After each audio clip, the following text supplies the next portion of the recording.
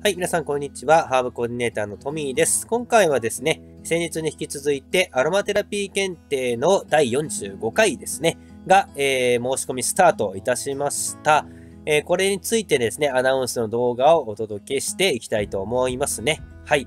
AAJ が主催しています日本アロマ環境協会から、えー、公式ホームページの内容とともに紹介をしていきます。はい。では、えー、アロマテラピー検定の定義ですけども、まあ、香りに秘められた植物の力を、えー、ね、試していこうということですが、えー、これ、え、公式ホームページからそのまま内容を抜粋しております。一応読みますね。え、精油エッセンシャルオイルですね。安全な使い方。え、香りが真摯に影響を及ぼすメカニズム精油のプロフィールなど、多方面からアロマテラピーについて学べます。自分で楽しんだり、周りの人を楽しませたり、健康や美容のために活用したりと、アロマテラピーをもっとよく理解して使いこなすための検定ですという風な定義となっておりますね。まあ、あの、受けられる理由はですね、いろんな方が受験をされていますね。まあ、あの、本当にお仕事で使いたいっていう風に考えてらっしゃる方や、え趣味で使いたい方、え友人と周りの方と楽しみたいので、え使いたいということでね、え受けられる方、様々いらっしゃいますので、まあ、どれに当てはまっても全然いいかと思います。はい。まあ、気軽に受けられる、えー、試験となりますので、ぜひ、えー、この機会にまたチャレンジをしてほしいなと思います。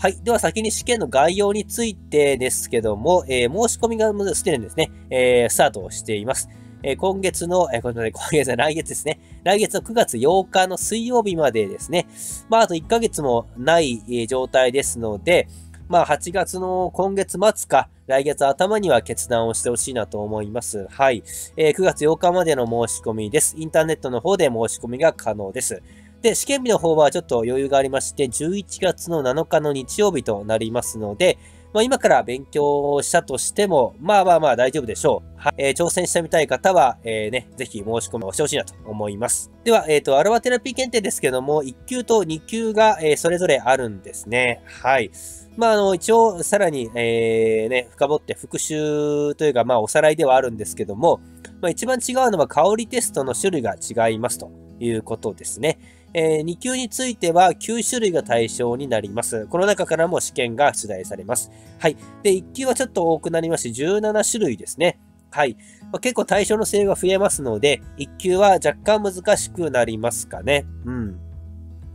まあ、香りの、えー、種類についてのデータを抑えることももちろんですし、えー、香りのね、え対策用専用のですね、キットがありますので、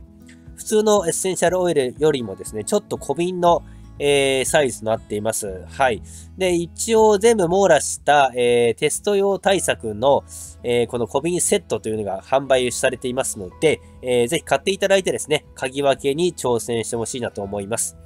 で実際の問題はですね、えインターネット試験に今なってますので、ご自宅の方に、え試験日直前になりましたらですね、え香りのパックがどうやら、え 1, 1種類か2種類ぐらい、え届くようになっているそうです。はい。私の時は、え何年も前ですので、え試験会場で鍵分けをね、行ったんですけど、今は在宅になりましたので、えご自宅の方に、えキットが届きます。で、え当日になったら開封をして鍵分けを行うというスタイルに今変わっていますのでご注意ください。はい。では続きまして、えー、内容なんですけども、えー、オンライン選択方式によるインターネット試験になっています。はい。なので、試験会場に行く必要はありませんので、え、ご自宅でね、え、オンライン環境さえあれば、えー、ちょっと、あの受験することができます。えただし、通信環境がね、悪かったり、えスマホだとですね、ちょっと、え見づらかったりすると思いますんで、できれば、えパソコンを、えー、まあ、繋いでいただいてやった方がいいかと思います。はい。で、一応これまでの受験者数はですね、アロマテラピーはハーブよりも、えー、かなり多くてですね、えー、10、あ、すみません、50万人か。え、累計50万人ぐらいの方が受けられているということで、まあ、アロマの方がね、えー、やっぱ人気がありますかね、総合的に見ると。うん。まあ、なので、えー、どっち受けられてもいいんですけども、えー、ハーブとアロマ両方ね、ありますので、まあ、受ける、えー、種類としてはアロマの方が、まあ、対象の方が多いという風になってますかね。一応、えー、勉強の仕方ですけども、公式テキストが、えー、売られております。また、公式問題集も、えー、AAJ から販売をされておりますので、えまあ、両方買っていただいた方がいいのはいいんですけども、まあ、最低でも、まあでも公式テキストは、え、出題範囲が載ってますので、買っていただけたら嬉しいなと思いますね。はい。まあ、どちらも、あの、買いたくないという方はですね、私の、え、YouTube チャンネルを見ていただければですね、え、かなり詳しく解説をしていますので、まあ、必勝講座も出してます。また、えー、一問一答シリーズというね、えー、公式問題集に、えー、解説をね、加えた非常にわかりやすい形式で案内した動画がありますので、まあ、それをね、直線対策として使ってもらえれば、かなりえ合格率は上がるかと思います。はい。なので、勉強法については、またお問い合わせ、公式 LINE の方でも受け付けていますので、よろしくお願いします。はい。えー、では続いて、ご質問にもね、えー、ありましたんですけども、えー、上位資格、注意資格についての、え、案内もしておきたいと思います。え、注意資格がですね、アロマはありまして、アロマテラピーアドバイザーというのが1級ですね。え今回のアロマテラピー検定の1級を合格した人には、え注意資格でその上、アロマテラピーアドバイザー、え提案をするのがメインですかね。まあ一般の方とか、えー、まあ、インテリア、あ、すみません、インテリアショップ、あまあ、インテリアショップも含めて、まあ、アロマテラピーショップですね。はい。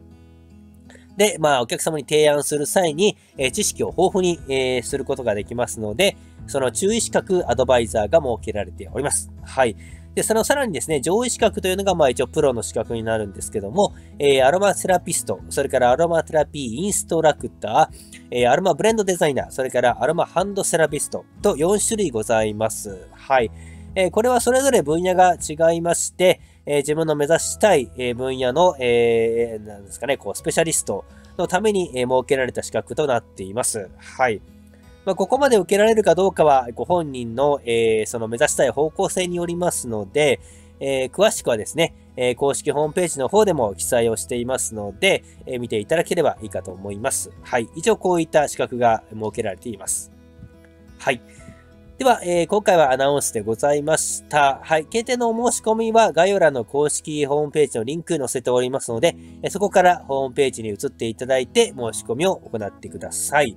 あとですね、質問等は、えー、私のハーブドアロマの癒しチャンネルの、えー、公式 LINE の方で受け付けておりますので、お気軽に相談いただければと思います。はい。